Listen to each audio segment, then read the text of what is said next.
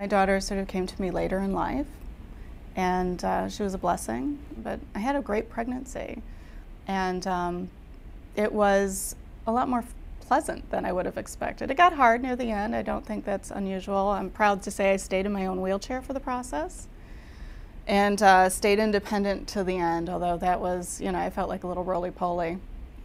And I had a great, um, a great labor and a great delivery when I returned to work, I was very fortunate to have um, family in the area. So both her grandmothers, um, my mom and her father's mom, were able to do my daycare. And they came to my home, which was really wonderful. And it was wonderful for her because she really got to develop a close relationship with them. Um, they still come by to watch her periodically, but she's in preschool now. So now I get to drop her off and pick her up.